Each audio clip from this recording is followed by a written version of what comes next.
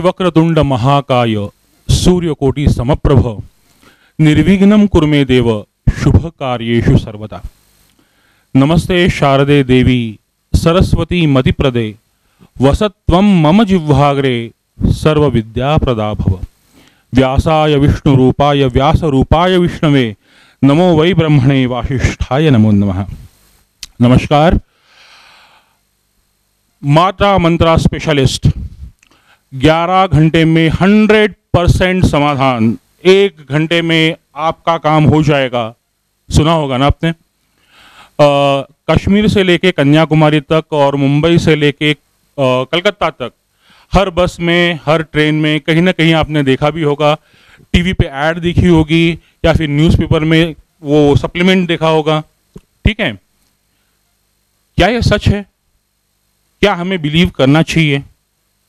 Because for those who believe no explanation is necessary and for those who don't no explanation is possible आज जागतिक ज्योतिष दिन है।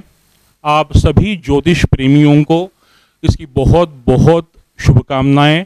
और उसी के साथ आज वर्ल्ड हैप्पीनेस डे भी है। तो आप सब लोग खुश रहिए, मुस्कुराते रहिए, आनंदी रहिए। यही शुभकामनाएँ। मेरा नाम है प्रोफेसर पंडित तेजराज किंकर। मैं बेलगांव शहर से हूँ। बीस साल तक, अराउंड नाइनटीन ट्वेंटी ईयर्स मैं एक बेलगांव के बहुत प्रतिष्ठित इंजीनियरिंग कॉलेज में अध्यापन का काम करता था। ज्योतिष मेरा श्वास है, मेरा पैशन है। और आज मैं आपको बताने वाला हूँ कि इन सब जो एडवर्टाइजमेंट्स होते हैं उनके पीछे का राज क्या है वो करते क्या है? और हमारा मुख्य टॉपिक है कि जो किसी भी ज्योतिषी के पा, पास जाने से पहले आपको क्या करना चाहिए? So it is something like before you visit an astrologers place what you should do चलिए शुरू करते हैं।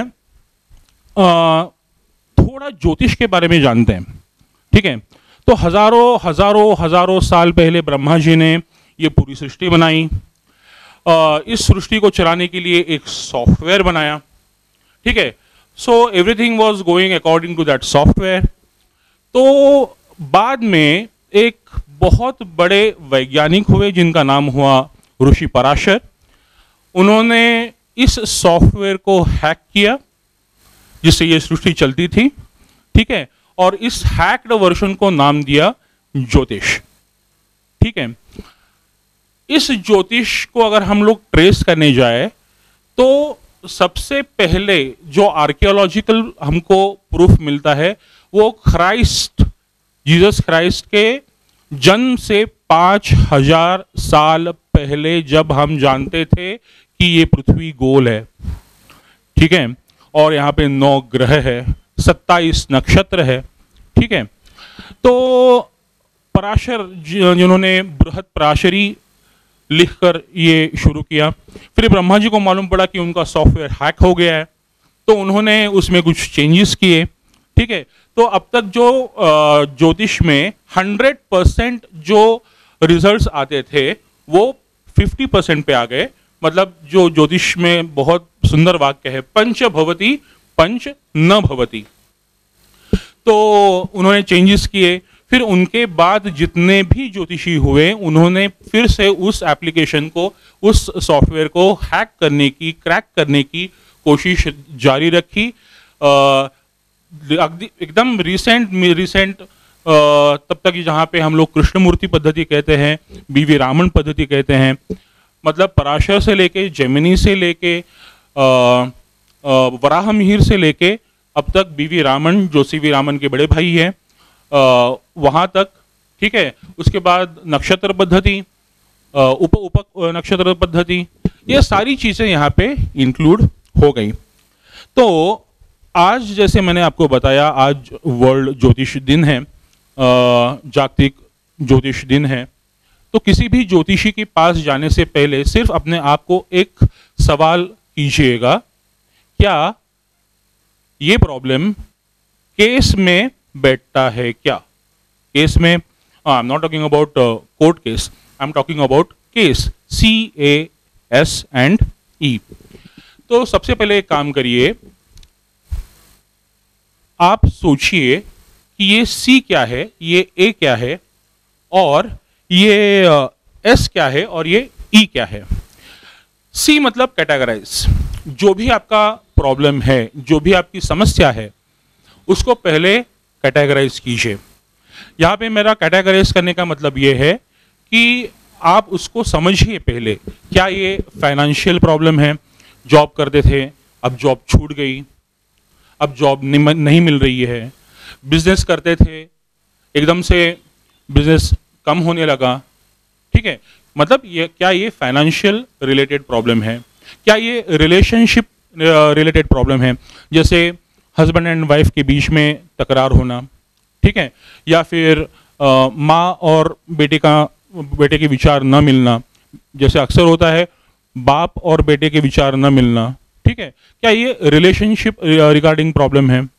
क्या यहाँ पे आपको मानसिक चिंता सता रही है, जैसे भय है डिप्रेशन है एंजाइटी है, ठीक है?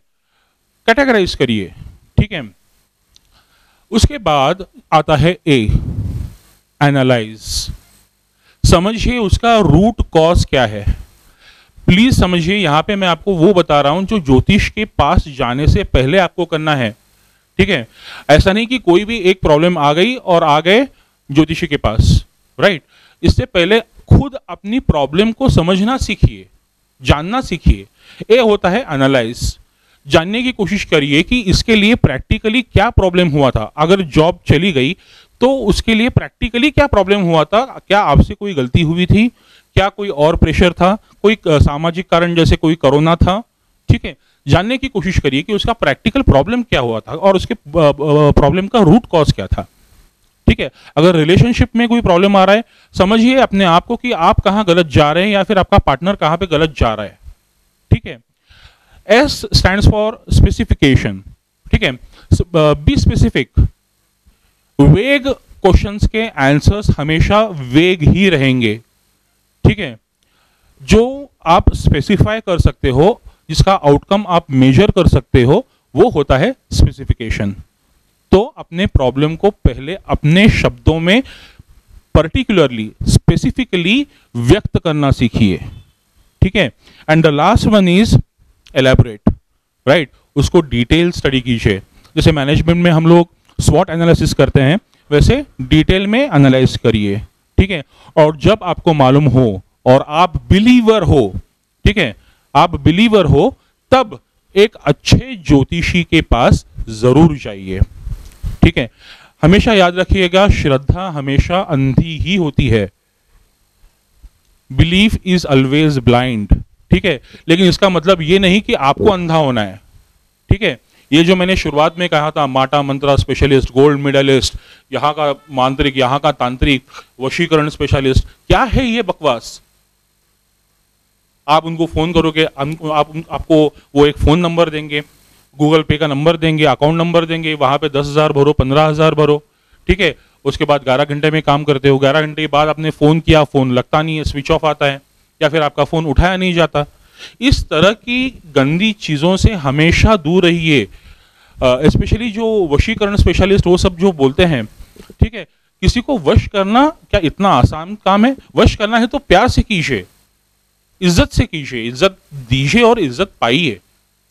यह सबसे इंपॉर्टेंट है।